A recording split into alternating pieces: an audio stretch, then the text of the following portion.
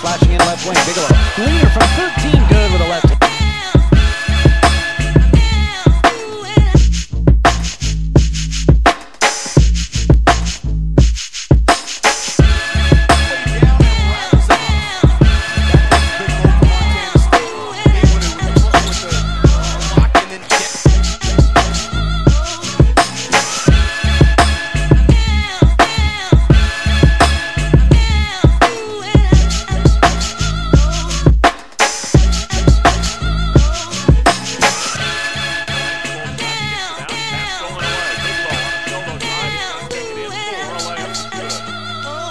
spin move, and then Alex Holtz over to Gets an open three. For the Bobcats.